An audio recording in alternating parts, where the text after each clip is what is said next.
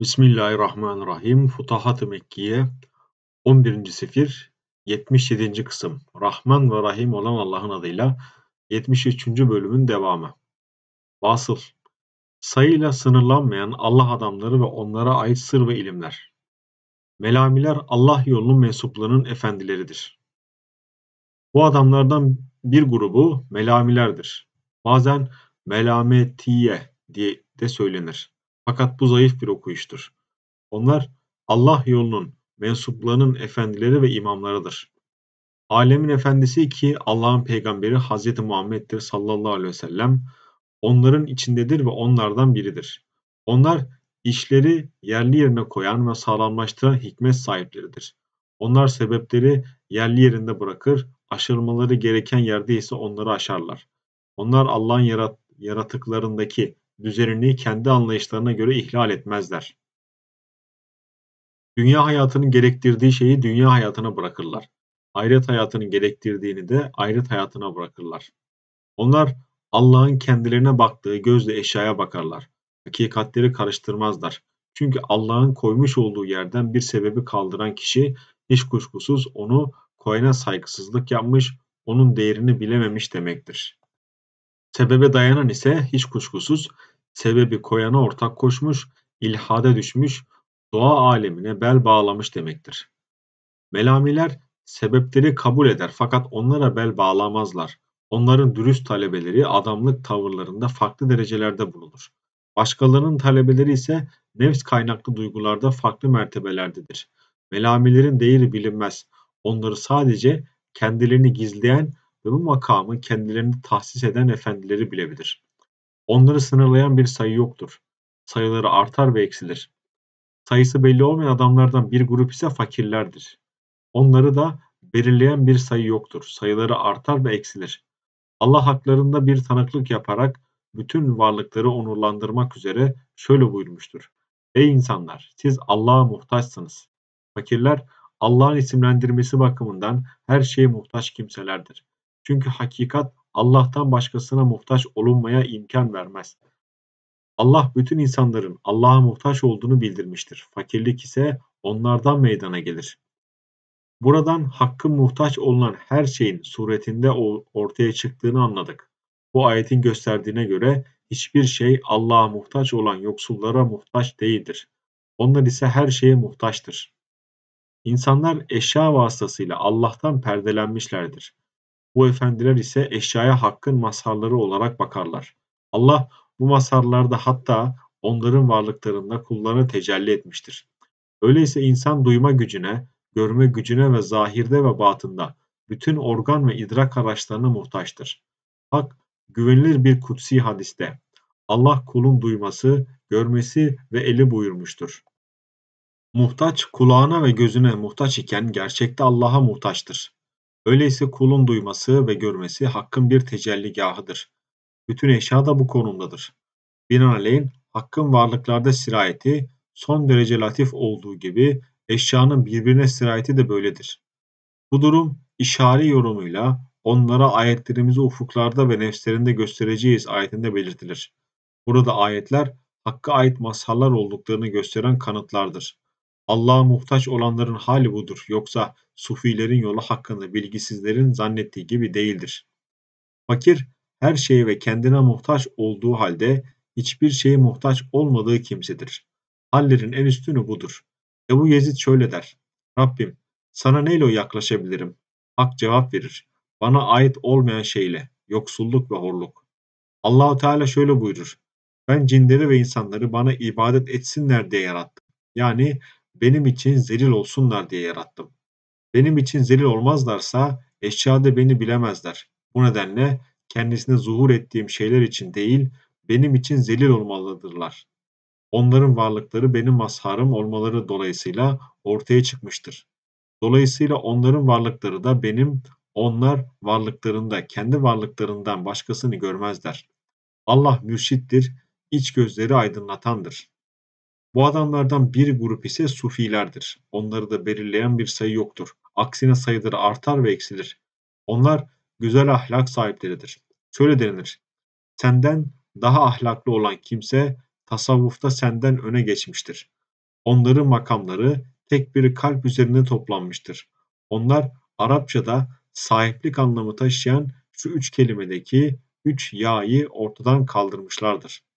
Bu nedenle li yani benim için, indi bende, metai benim malım demezler. Başka bir ifadeyle onlar kendilerine hiçbir şey izafe etmezler. Yani Allah'ın yaratıklarına karşı hiçbir mülke sahip değillerdir. Onlar sahip oldukları şeyler hakkında Allah'ın dışındaki her şeyle eşittir. Bununla beraber insanların sahip olduğu şeyleri kabul ederler. Bu makamda onlardan bir şey talep etmezler. Bu tabaka kendi iradeleriyle alışkanlıkların ellerinde gerçekleştiği kimselerdir. Bunun amacı zorunlu yerlerde dini ve dinin doğruluğunu tasdik etmek niyetiyle kanıt getirmektir. Bir filozofla tartışırken bu gruptan böyle birisini görmüştük. Onlardan bazıları ise tıpkı alışılagelmiş diğer şeyler gibi bu işi alışkanlık haline geldiği için yapar. Alışkanlıkları aşmak bunlar adına alışkanlığı aşmak değildir. Bu sadece sıradan insanlarda alışkanlığı aşmaktır. Bu insanlar bizim ve tüm canlıların yeryüzünde yürüdüğü gibi su üzerinde ve havada yürür. Onlar bunu yaparken genellikle bir niyete ve huzura muhtaç değildir. Melamiler ile fakirler ise böyle değildir. Onlar niyet ve huzur olmaksızın yürüyemez, adım atmaz ve oturmaz.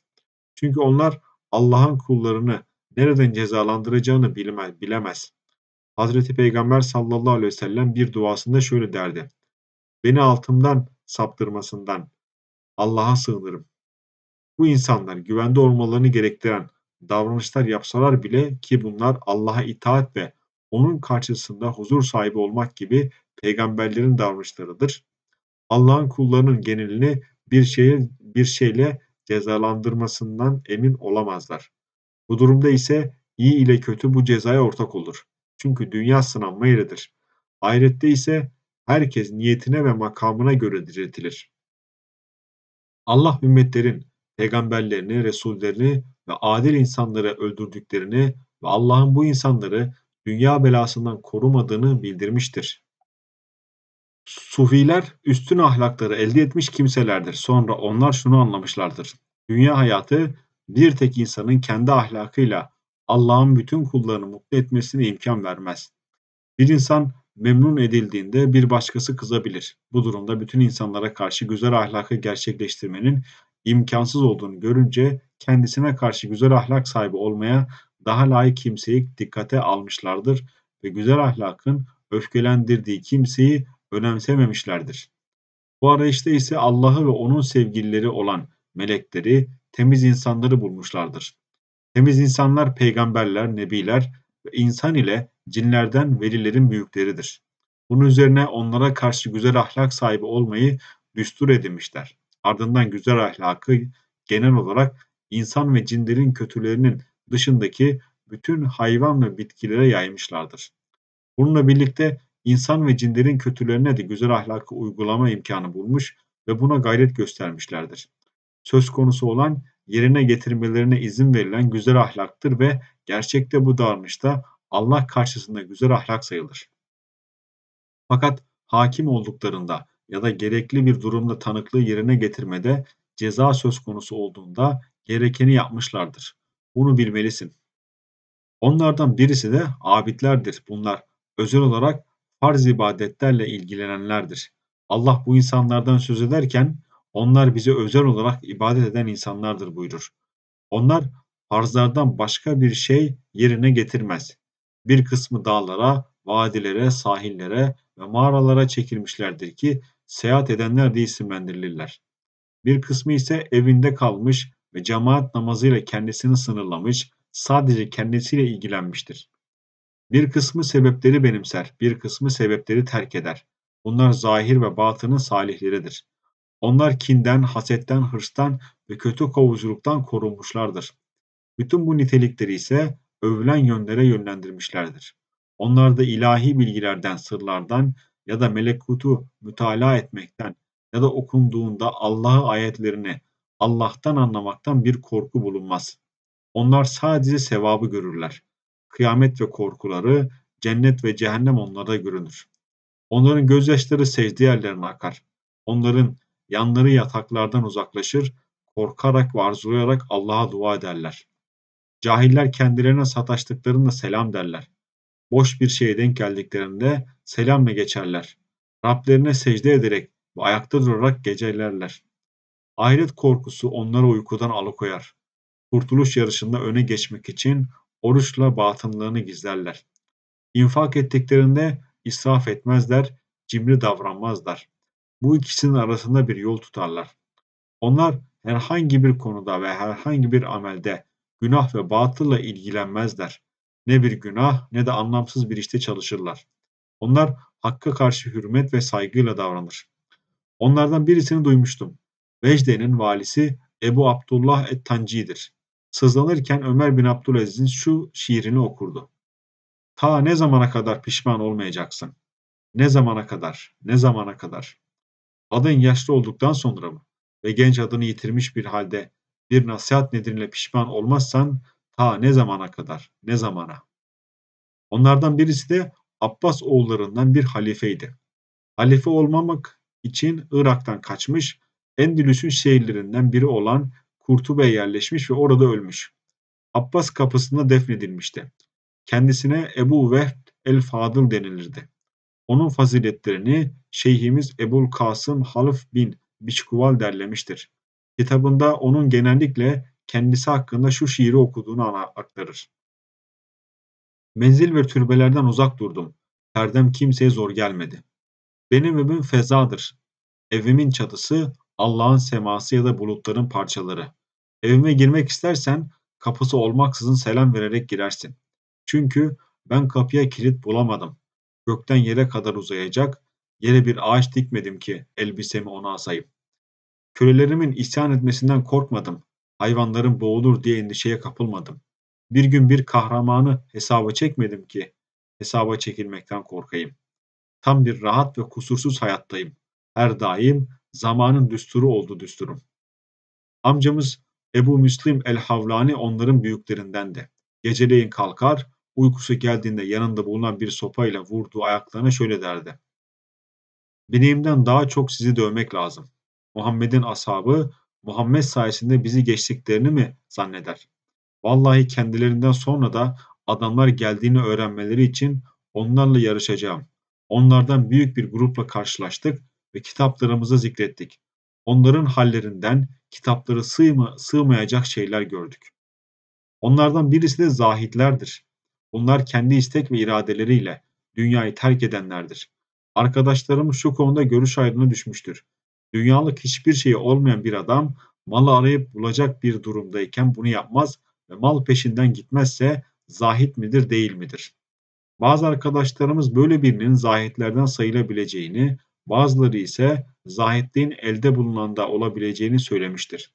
Bunlara göre öyle bir insan bir şey elde etseydi ondan yüz çevirmeyebilirdi. Zahitlerin önderlerinden birisi İbrahim bin Ethem'dir.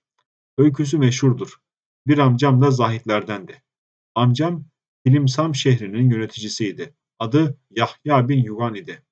Devrinde fakih, abid ve zahid Tunuslu Ebu Abdullah bin Et-Tunusi adında bir adam vardı. Ubbad denilen Tilimsa'nın dışında bulunurdu. İbadet ettiği bir mescide çekilmişti ve kabri de orada ziyaret edilen meşhur bir yerdi. Bu salih adam iki şehir arasındaki Tilimsan'da yürürken ki bu şehirler Ekadir ve orta şehirlerdir. Amcamız şehrin yöneticisi Yahya bin Yugan onunla karşılaşmış. Bu adam Ebu Abdullah et Tunusi'dir. Devrinin abididir denilmiş. Amcam atının gemini tutarak şeyhe selam vermiş. Şeyh de onun selamını almış. Üzerinde değerli bir elbise bulunan vali şeyhe dönerek ''Ey şeyh, giymiş olduğum bu elbiseyle namaz kılmak caiz midir?'' diye sormuş. Şeyh gülmüş. Amcam niçin gülüyorsun diye sorunca şöyle cevap vermiş. Aklının zayıflığına, kendini ve durumunu bilmeyişine gülüyorum demiş ve eklemiş. Bence sen leşin kanında düşüp kalkan onu ve pisliğini yiyen, küçük abdesti geldiğinde ise üzerine değmesin diye ayağını kaldıran bir köpeğe benziyorsun. Sen haramla dolu bir kapsın. Kulların hakları boynundayken gelmiş bana giydiğin elbiseyi soruyorsun. Ravi şöyle der. Bu cevap üzerine vali ağlamış, bineğinden inmiş, yöneticiliği bırakmış, şeyhin hizmetine girmişti.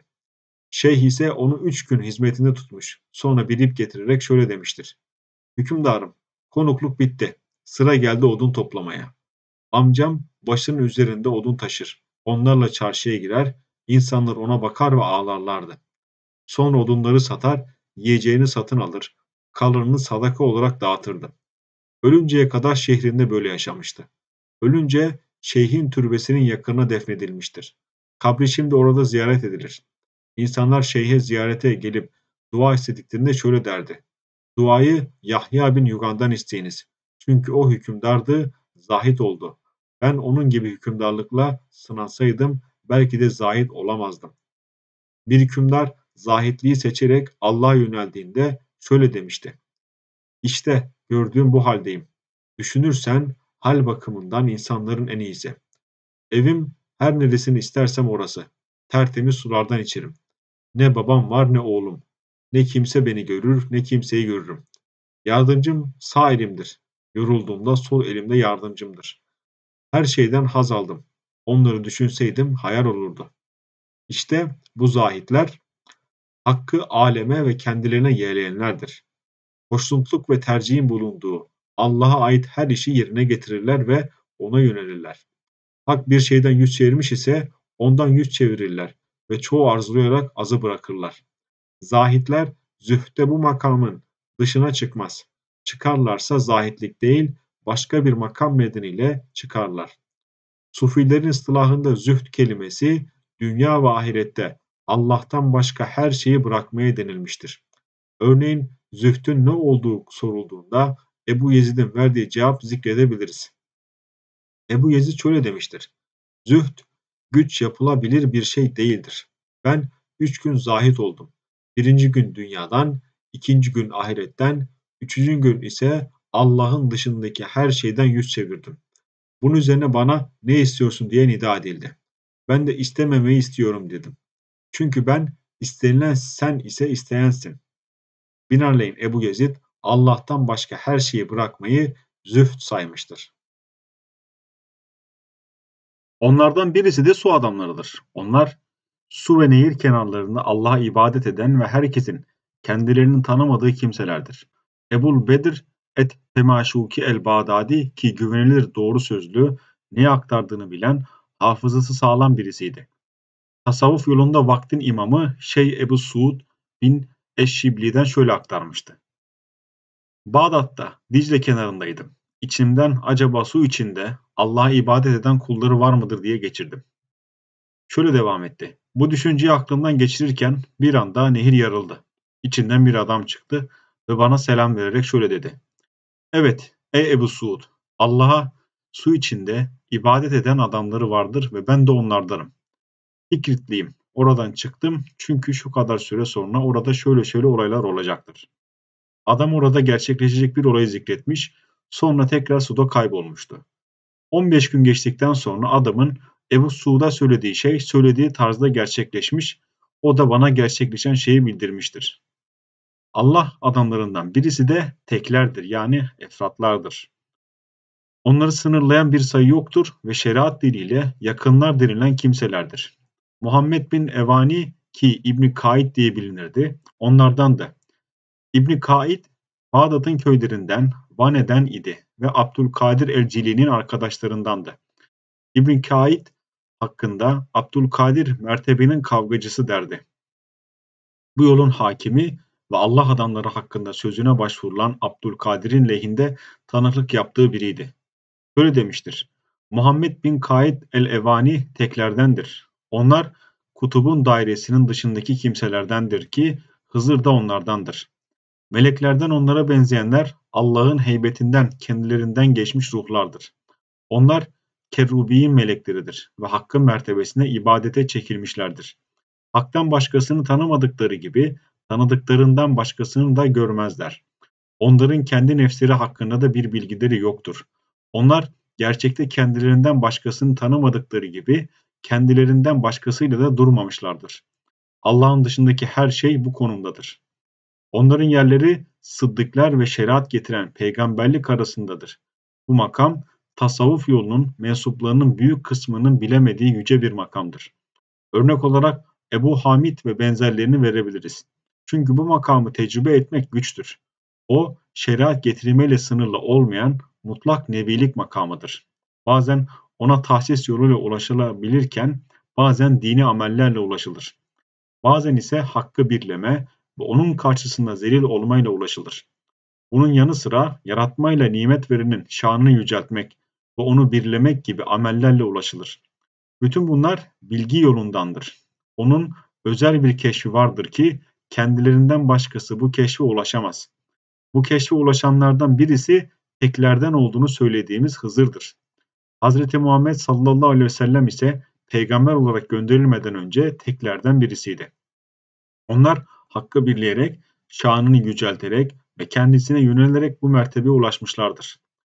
Bu yöntemi takip edenlerin nefslerinde şu bilgi gerçekleşti. Allah yaratarak ve hayır sebepleriyle insana nimet vermeye kadir olduğu gibi dilediğinde sürekli iyilikte bırakmak ve mutluluk nimetini kulun üzerinde korumaya da kadirdir. Bununla beraber söz konusu nimetlere mazhar olan kişi bir ahiretin olduğunu ya da dünyanın bir sonu olup olmadığını ya da bu konuda bir şeye inanıp inanmaması gerektiğini bilmeyebilir. Çünkü henüz bunlar ona gösterilmemiştir. Allah bu konuları kendisine bildirdiğinde ise düşünce gücüyle algılanamayan gerçeğe inananlar zümresine katılır. Böyle bir insan şeriat peygamberliğinin geçerli olduğu bir zamanda yaşıyorsa bu makam sahibi onlardan birisi olurdu. Örnek olarak kendi dönemlerinde Hızır, İsa ve İlyas peygamberleri verebiliriz. Günümüzde ise ancak belirttiğimiz makam vardır. Resullük ve şeriat getiren nebilik sona erdi. Bu dönemde nebi ve resuller hayatta bulunsaydı hiç kuşkusuz onların hepsi Muhammedi şeriatın altına girerlerdi. Genel ve her nebiye özgü şeriat peygamberliği ve resullüğüne bununla ümmetlere ulaşanı kastediyorum. Buna gelirsek bunlar nebi ve resullerde Allah'ın bir tahsisidir. Çalışma ve gayretle ulaşılamaz. Allah'ın hitabına ise çabayla ulaşılabilir. Hitap tebliğ edeceği ya da kendisine özgü bir şeriat ise bu hakkında çaba ya da keşle ulaşılamayan peygamberliktir dediğimiz kapsama girer. Bu bilinemeyen özel ilahi tahsistir. Bu mertebe çalışanın kendisine ulaştığı her şeriatı getiren peygamberin makamıdır. O kendisine ait şeriatı ilave bir şera şeraittir. Ve peygambere Allah'ın bir ihsan ve nimetidir. Hazreti Peygamber sallallahu aleyhi ve sellem için bu ihsan ve nimet kesilme şeklinde ortaya çıktı. Bir makama ulaşmak için çalışan kişinin ulaşamadığı makam, gerçekte o şeriatın peygamberi adına da gerçekleşmemiş, diğer nebiler adına gerçekleşmiştir. Allahu Teala şöyle buyurur. Peygamberlerin bir kısmını diğerlerinden üstün yaptık. Başka bir ayette ise işte bu peygamberlerin bir kısmını üstün yaptık buyurur. Üstünlük yönlerinden birisi de belirttiğimiz husustur. Hızır bu makamdayken Musa'ya şöyle der. Bilgice kuşatamadığın bir şeyi nasıl sabredeceksin? Çünkü Musa o vakitteki sözüyle adaletin dışladığı bu makama sahip değildi. Allah ise onun bilgisi hakkındaki tanıklığıyla kendisini adil yapmıştır. Musa bu konuda Hızır'a karşı çıkmadığı gibi kendisine Allah dilerse beni sabredici bulacaksın. Emrine karşı çıkmayacağım demişti. Daha önce de bana doğru yolu göstermen üzere sana uyabilir miyim demiş. Hızır bana sabredemezsin diye karşılık vermişti. Sonra bilgide kendisine insaflı davranarak ona ey Musa ben Allah'ın bana öğrettiği senin bilmediğin bir bilgiye sahibim. Sen de Allah'ın sana öğrettiği benim bilmediğim bir bilgiye sahipsin demişti. Hızır gönderilmiş peygamberlere ait olan yasa getirici nebilik sahibi değildir. Bu bir araya gelişten sonra Musa'nın hakkın katından Hızır'a ait bu makamı elde edip etmediğini bilmiyorum. Bu konuda bir bilgim yoktur. Allah Hızır'ın ulaşmış olduğu bilgiye Musa'yı da ulaştırmış olduğunu bildirdiği kimseye merhamet etsin. Bunu tecrübe yoluyla öğrenen kişi bana bunu bildirseydi onu kitabımın bu bölümüne koyardım. Bilgiyi de kendime değil kendisine nispet ederdim. Onlardan birisi de eminlerdir yani ümenadır. Hazreti Peygamber sallallahu aleyhi ve sellem allah Teala'nın eminleri vardır buyurur. Ebu Ubeyde bin Cerrah hakkında ise bu Ebu Ubeyde bin Cerrah hakkında ise o bu ümmetin eminidir der. Leyla'nın sırrını soran kişiyi reddettim. Kesin bilgiye sahip olmaksızın. Kör bir bilgi getireni. Derler ki sen bize haber ver. Onun eminisin. Haber vermiş olsaydım emin olmazdım. Bunlar melamilerden bir gruptur. Eminler onlardan başkası olamaz. Onlar melamilerin büyükleri ve seçkinleridir. Dolayısıyla halleri bilinemez. Çünkü onlar imanın iman olması bakımından gereği olan belli adetlere göre insanlara davranırlar. Bu ise farz anlamında Allah'ın durulmasını emrettiği yerde durmak, yasakladığı şeyden sakınmaktır. Kıyamet günü makamları insanlara görülür. Onlar dünya hayatında insanlar arasında tanınmadan bulunur. Hazreti Peygamber sallallahu aleyhi ve sellem Allah'ın eminleri vardır buyurmuştur. Güvenilen kimse ise belirttiğimiz yani sırrı söylemeyen kimsedir.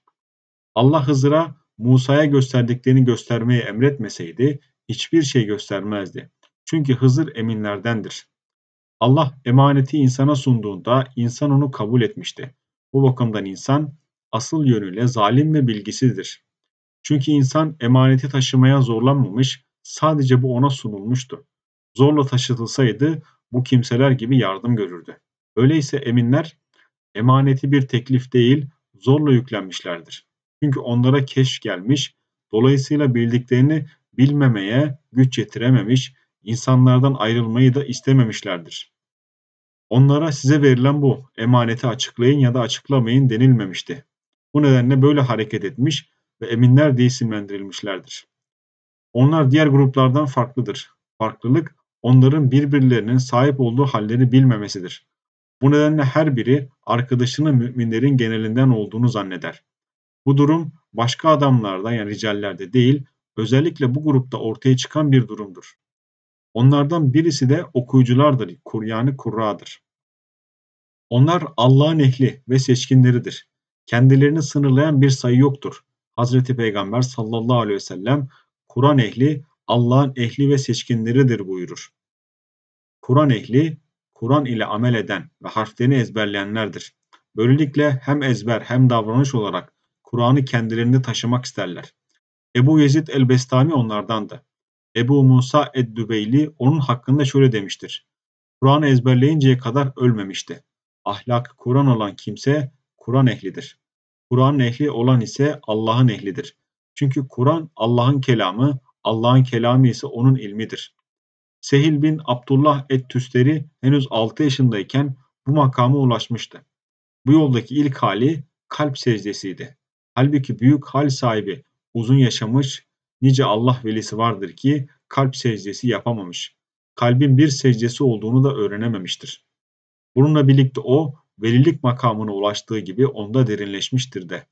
Kalp secdesi gerçekleştiğinde sahibi bir daha başını secdeden kaldırmaz.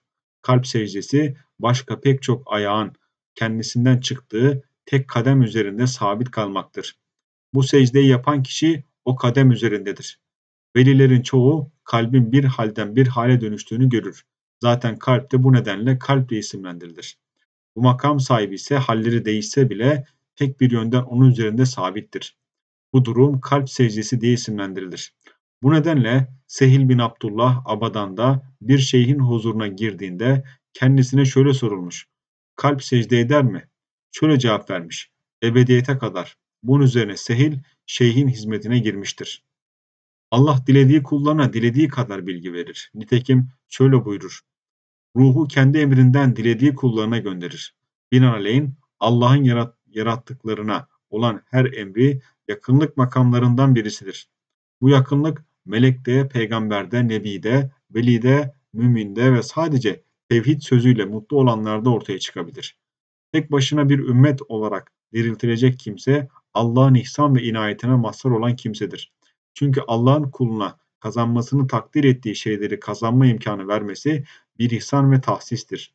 Nice veli bunlardan birisine ulaşmak istemiş, Allah'ın iradesi onu elde etmesine imkan veremem, vermemiş, gayret göstermiş olsa bile takdir ona ulaşmasına engel olmuştur. Öyleyse Kur'an ehli Allah ehli demektir. Bu nedenle Allah kendisinden başka onlar adına bir nitelik koymamıştır. Bilgisi varken hakkın niteliği olduğu kimsenin makamından daha şerefli bir makam da yoktur. Onlardan birisi de seven, sevenlerdir yani ahbaptır. Bunların bir sayısı yoktur, sayıları artar ve eksilir. Allahu Teala şöyle buyurur. Allah kendilerini sevdiği onların da Allah sevdiği bir topluluk getirir. Onları sevdiği için sınar. sevildikleri için de onları seçmiş ve ayırmıştır. Söz konusu insanların bu hayatta ve kıyamette seçilmelerini kastediyorum. Cennette ise Allah onlara özel olarak sevilenler olmaları bakımından ayrıcalıklı davranacaktır ve sadece bu makamda kendilerine tecelli edecektir. Bu grup iki kısma ayrılır. Bir kısmını Allah kendiliğinden sever, bir kısmını ise Allah'a itaat anlamına gelen peygamberini itaat içinde kullanır. Bu durum ise Allah'ın onları sevmesini sağlar. Çünkü Allah şöyle buyurur. Peygambere itaat eden Allah'a itaat etmiş demektir. Hazreti Peygamber'e sallallahu aleyhi ve sellem hitap ederken ise de ki Allah'ı seviyorsanız bana uyun ki Allah da sizi sevsin. İşte bu kendiliğinden olmaksızın bir sonuç olarak ortaya çıkan sevgidir. Bununla beraber sevilenlerin hepsi aynı zamanda sevenlerdir. Ey kavmim! Kulağın bir canlıya tutulmuş, bazen kulak gözden önce aşka düşer. Bu nedenle onların aralarındaki menzillerde gizlilik yoktur. Onlara ait her makamda üstün ve daha üstün sevenler bulunur. Bu sevenlerin özelliği duruluktur yani safadır. Dolayısıyla onların sevgisine hiçbir kir bulaşmamıştır. Onlar Allah karşısında bu makamda sabit olarak bulunur. Onlar dince iyi ve kötü yargısıyla alemin kendisine yerleştirildiği duruma göre saygıyla aleme davranır. Bu konuda Allah rızasını gözetir ve Allah yolunda hareket ederler. Dolayısıyla Allah yolunda dostluk yapar. Allah yolunda düşmanlık yaparlar. Dostluk yaratanın varlığı yönünden, düşmanlık ve kınama ise yaratılan yönündendir. Yoksa alemin nitelendiği şey yönünden değildir. Çünkü alem Allah'ın alemidir. Onlar hüküm verirler fakat hükme konu olmazlar. Allah onları kendi nefslerine sahip yapmış, saygı mertebesine yerleştirmiştir. Onlar bütün iyilikleri toplayan ediplerdir. allah Teala bu makamı elde ettiğini iddia ettiği kimseye şöyle der. Ey kulum, benim için hiçbir amel yaptın mı? Kul, Rabbim namaz kıldım, cihat ettim, yaptım yaptım der ve yaptığı iyilikleri bir bir sayar. Allah bunlar sana aittir der. Kul, Rabbim sana ait amel nedir ki diye sorunca Allah karşılık verir. Benim uğruma bir dost edindin mi? Ya da benim adıma bir düşmanın oldu mu?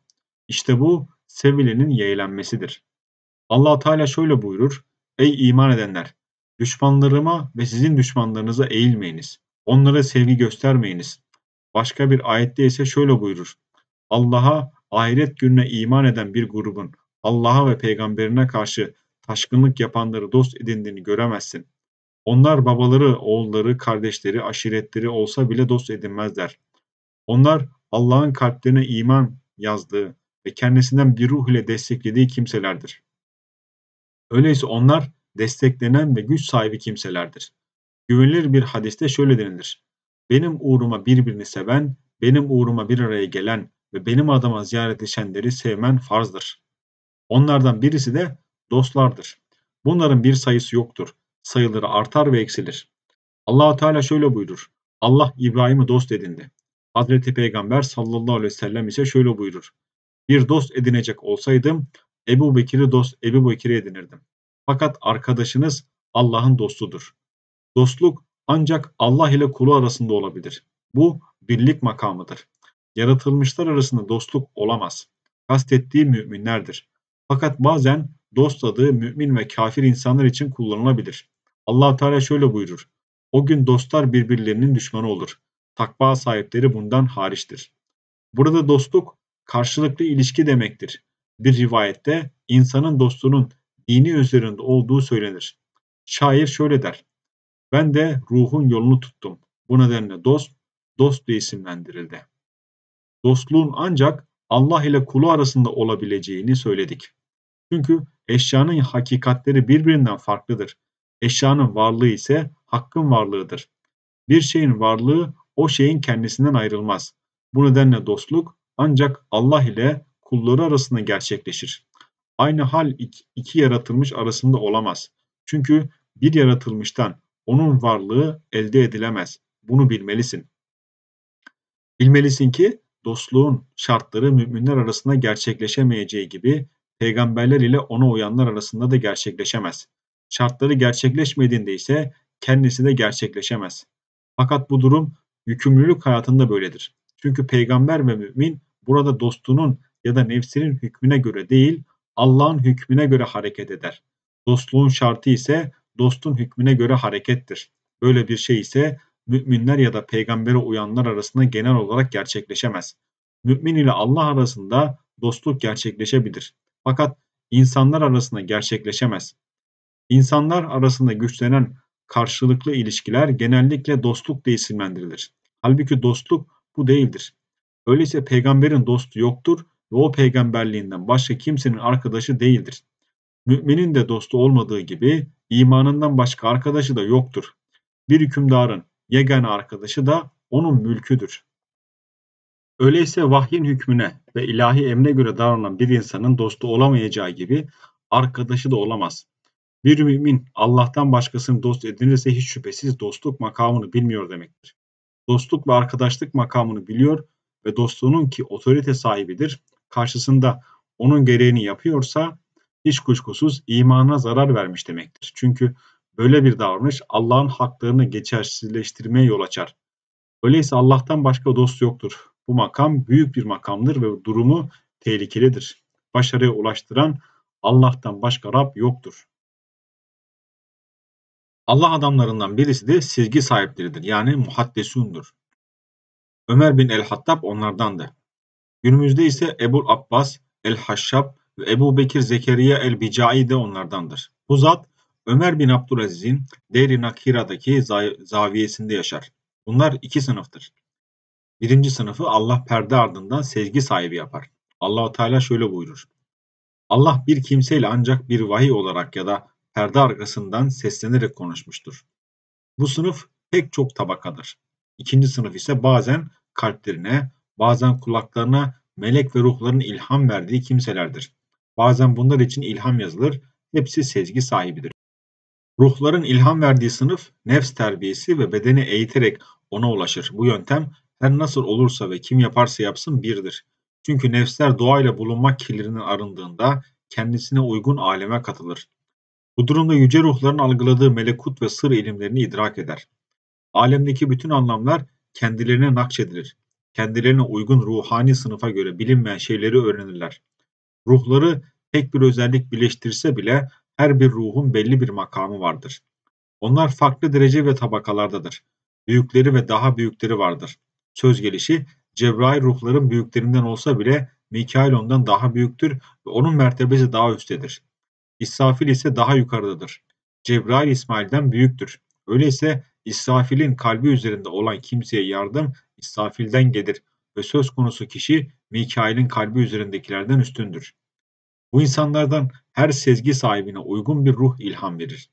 Nice sezgi sahibi vardır ki kendisine kendisine kimin sezgi verdiğini bilemez. Sezgi alma, nefslerin duruluğunun, doğayla kalmaktan kurtulmanın, unsurların ve rükunların sonuçlarından uzaklaşmanın sonucudur. Böyle bir nefs, bedenin mizacını aşmış demektir. Bir grup bu kadarlık sezgiyle yetinir. Fakat bu ahiret hayatında mutluluğun sağlanması için yeterli değildir. Çünkü o sadece nefsane bir arınmadır.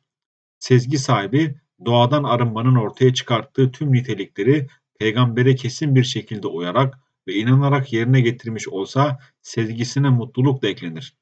Bu sezgiye Allah'tan gelen ilham da eklenirse sezgide farklı tabakalarda olduğunu söylediğimiz birisi haline gelir. Böyle denilir. Ey gece sohbetçisi! İnsanlar uykuya çekildiğinde aralarından benim sezgi sahibim uyanıktır. Şair Allah ile sohbetinin ve Allah'ın onunla sohbetinin kendi aralarında olduğunu, onların diliyle konuşmadığını belirtir. allah Teala şöyle buyurur. Vadinin sağından ey Musa, ben Allah'ım diye nida edildi. Başka bir ayette ise Allah Musa ile konuşmuştur buyurur.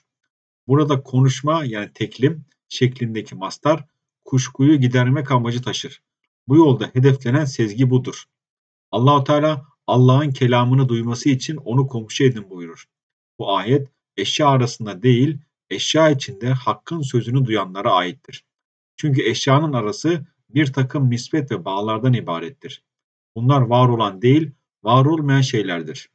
Bunlardan ilham geldiğinde doğrudan gerçekleşmiş, eşyadan ilham geldiğinde ise Allah'tan anlama gücü sayılır.